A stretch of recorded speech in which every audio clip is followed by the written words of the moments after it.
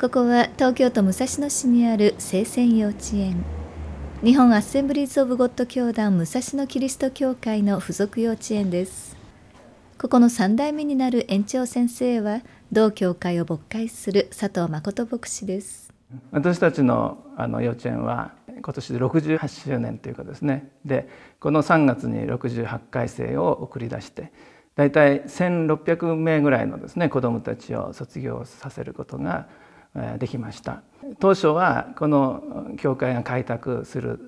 時期にですね地域の人たちの、まあ、お母さんお父さんたちの声があって是非あのミッション系の幼稚園をしてくださいということがあって、え幼稚園をこの教会の設立と同時にですね、え作ることができました私で、え園長は3代目なんですけどもね、え本当に素晴らしいものを引き継いで、えここまでできてるなと思います。しかしこの幼稚園も新型コロナウイルスによる休校要請を受け3月5日からずっと閉園中です。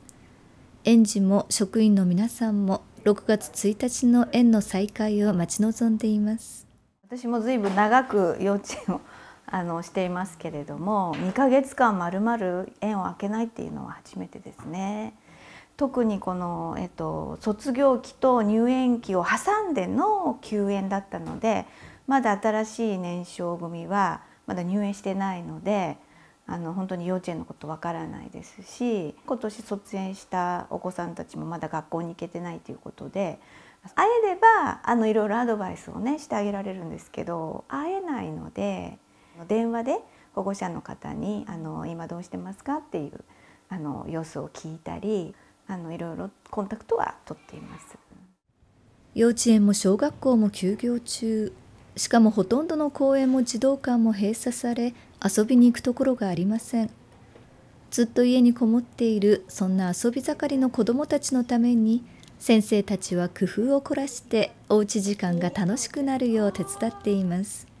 お手紙の中に折り紙を入れてあげたりとか塗り絵を入れてあげたりとかちょっとお家で楽しくできる工作だったりとかそういうのを一緒に入れてあげたり。あの今動画を配信したりとかしています。その動画の数々はなかなか凝っていて子供心をくすぐるものばかり特に喜ばれているのは普段から男の子たちに人気のこの電車のおもちゃプラレール車両にカメラが搭載されていて車窓からの景色を動画で送ることができるので今子どもたちはオンラインで電車の運転士さん気分に浸りながらお家でも楽しんでいるようです。一方的になりがちな先生からの発信にも子どもたちはちゃんと答えてくれます。常に45人の定員いっぱい。申し込みの日は朝から行列ができるほどだといいます。それでも68年間順風満帆だったわけではありません。小さな幼稚園で非常に、えー、いろんな意味で困難もあるんですけども時にはですね本当に入園者が数名の時もありましたし、えー、時にはゼロという時もありましたね。特にあの東日本大震災があった時に、まあ、この建物が少し古かったので耐震とかで、えー、ちょっと敬遠された部分があってですねでその後こうリフォームをしてしっかり耐震工事などもして、まあ、そういういろんな経歴あの経過の中で今こうして来ることができました。だから今回のコロナ禍でも心配はしていません。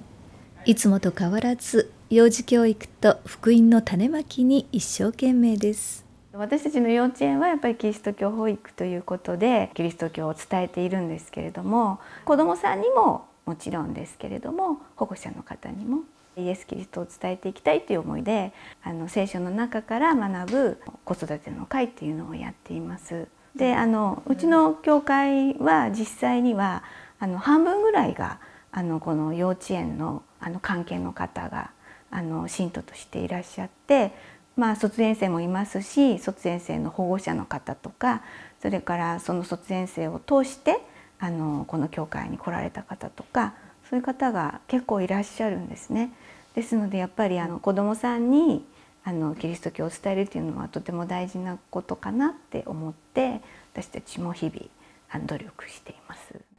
最後に佐藤園長先生からお家のお父さんお母さんにメッセージをいただきました。聖書のですねヘブル人への手紙に大祭司は自分自身も弱さを身にまとっているので無知で迷っている人々に優しく接することができますっていうえ御言葉があります。えあれもしなきゃこれもしなきゃっていう中でえ本当に弱さを持っているのも私たちも弱いですけども何より子どもたちがいろんなストレスやえそういうものにえ恐れとかにねあると思いますのでそれを親が本当にこう身にまとってあげて優しくなってほしいなというふうにつくづく思ってます。まあ、そのために本当にイエス様の優しさをまず私たち大人が頂いてイエス様に委ねて、えー、その優しさを発揮できればと